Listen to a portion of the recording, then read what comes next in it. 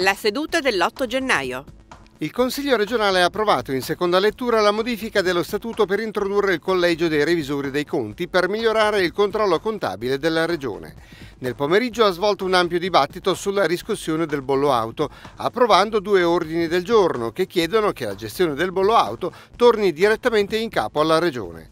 L'Assemblea ha poi proseguito l'esame del disegno di legge di riforma urbanistica. Ricordata Rita Levi Montalcini.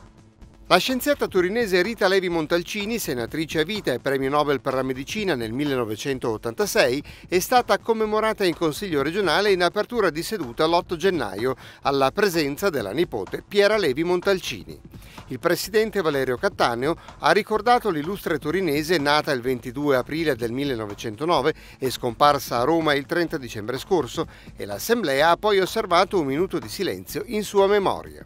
Diventiamo cittadini europei.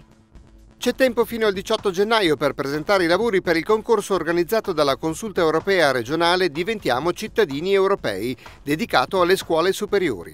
I temi di quest'anno sono legati alla solidarietà tra gli Stati europei e alla possibilità in futuro della creazione di un'unica federazione. Nel 2013, dichiarato ufficialmente anno europeo dei cittadini, la consulta prosegue quindi l'opera di sensibilizzazione verso le giovani generazioni.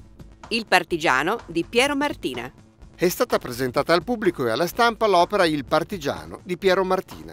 Il quadro, olio su tela 180 x 80 cm, datato 1961, è stato donato dalla famiglia alla Consiglio regionale ed è esposto nell'atrio di Palazzo Lascaris. All'incontro erano presenti anche le due figlie dell'autore, Anna e Antonella.